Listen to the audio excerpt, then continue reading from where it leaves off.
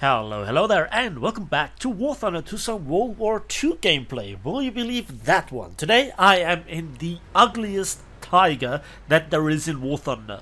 And that includes not just the German tigers, which are beautiful but boxy machines, but every sort of plane and ship and whatever carries the name Tiger. This is the most ugly one. Now, this is the VK4501P and it's basically the Tiger 1 prototype from Porsche. And if you look closely to the chassis from the front, uh, you can see that it is similar or very closely related to the hull that you'll find on the Ferdinand.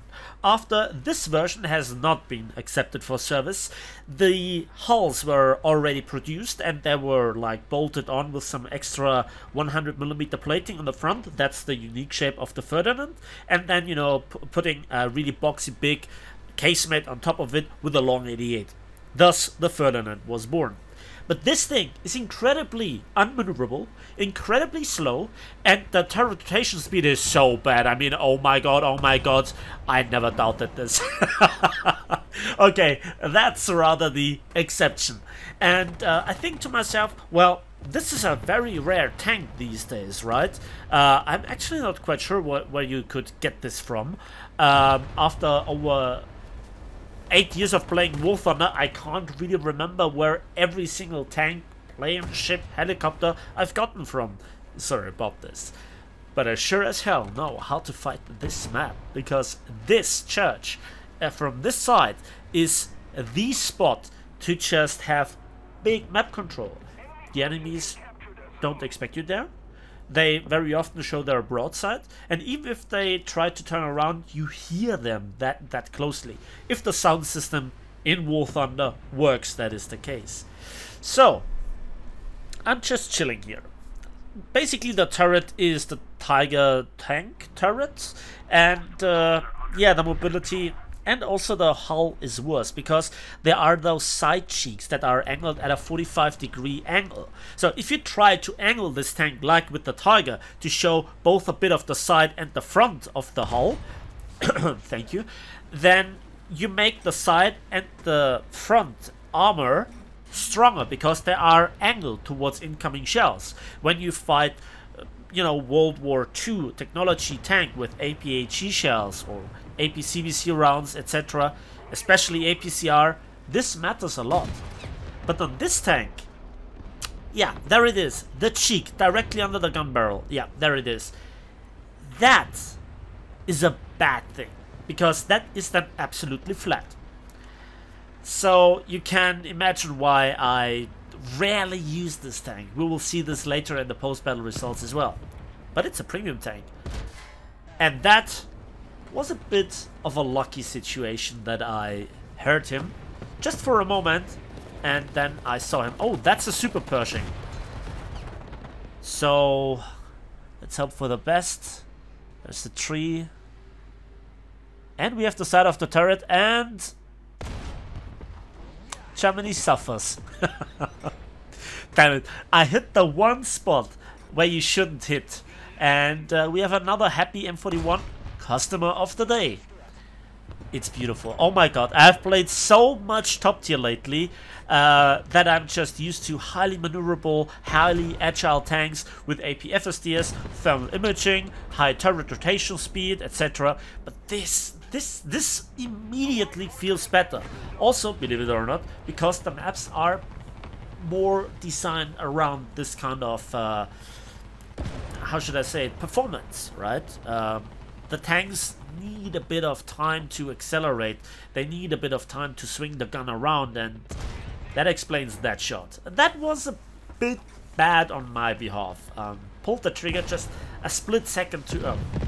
Obviously, the 88mm gun here is actually really reliable these days, obviously except versus Russian tanks because, yeah.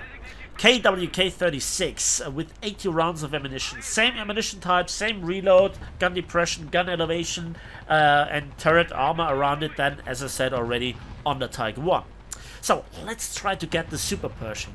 Um, because certain people just don't have the situation awareness, but I think this guy just has the problem of being preoccupied. There is the airstrike, and there he's dead. And that's good. And now we can see one of the advantages of this tank. That it goes in reverse as fast as it goes forwards. And that has another advantage. Because with AP-FSDS you can shoot through the transmission and the engine block and still blow up ammunition and kill crew. But with AP-HE, it just explodes after a certain distance. And when you shoot an enemy tank in the back, then very often the transmission or the engine eats the shot. And then we have just a perfect example. Don't have quite the gun depression. Yeah. Perfect. Perfect demonstration. I was not even set on fire. Now, here is one thing that I just quickly wanted to add. Um, I've seen a lot of gimmicks getting added to, you know, light tanks, the scouting, uh, to help any sort of allied player repairing. They have already high powerful guns, high mobility, maneuverability, etc.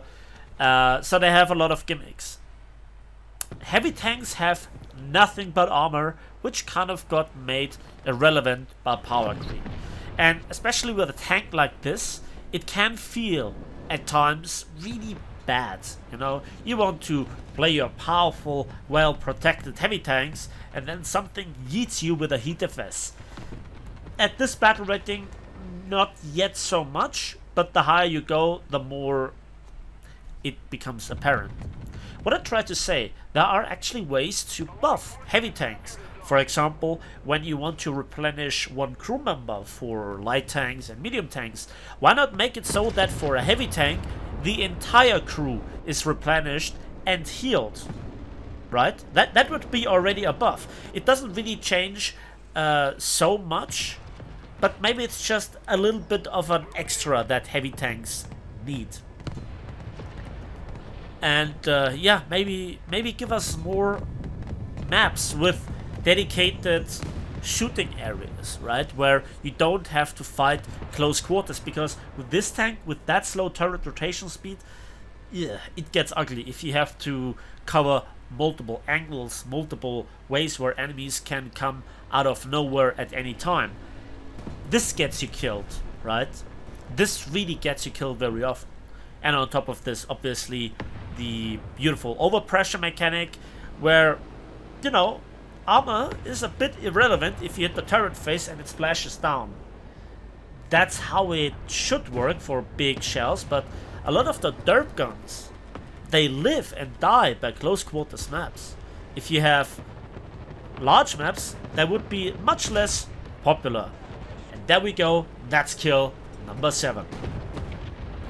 So as you noticed, I was really, really careful. And uh, yeah, I didn't really dare to go in into a brawl or to, you know, go for a cap. And uh, this church from this side is really, for me, the key point. And it's good for a heavy tank, for a medium tank, light tank, tank destroyer, you name it. So, the rarity that is the VK4501P. Basically the hull of the Ferdinand with less armor even. It's just a 100 millimeter front plate, not 200 millimeter like on the Ferdinand. And uh, yeah, that's really the extremely bad part about it. Um, so if we make it uh, quick, there is also the Panzerbefehlswagen 6P that actually has the 200 millimeter plating, but that sits at 5.7 instead of 5.3, but therefore has a much uglier matchmaker, I'd say. And also is rank 4, by the way. So, I think that was the battle. And actually, I survived it, which is really great. So, let's have a quick look at the post-battle results, shall we? And as you can see, nice income and nice RP for that low uh, battle rating. In contrast, 80,000 Silver Lions, 10,000 RP, and also the heavy metal hero. So I hope you enjoyed this video. Let me know if you like more of World War II stuff or more modern stuff. Lately I've gotten a lot of comments that you want to see me playing some World War II stuff again. And yeah, there it is. Now, here have some nice picture compilation and give this video a like with it. subscribe if you want to see more. Let me know in the comment section what you like and dislike about this kind of gameplay. And as usual, we'll see each other on the waves in the skies and on the battlefields of War Thunder.